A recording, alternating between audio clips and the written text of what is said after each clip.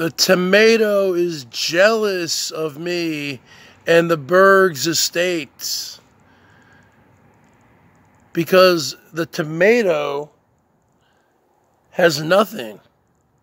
The tomato lives off the pension off of her fake boyfriend because her fake boyfriend is a cuck and a simp. If the fake boyfriend, the fake husband, actually woke up, actually had a pair, and kicked her out, she would have nowhere to go. She doesn't have any money, okay? All of his money is his money because they're not legally married. She never worked a day in her life.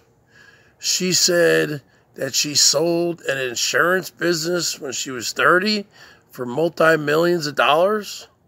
I mean, come on. Come on, Tomato. That's like my Amazon story, okay? Get going. I talked with with Kat about that several times. You are a liar. You haven't worked a day in your life.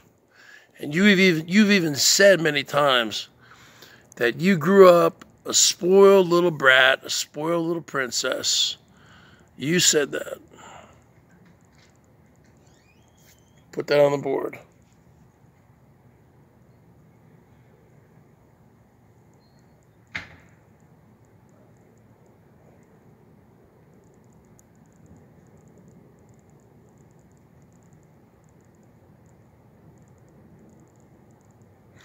Put that on the board, tomato.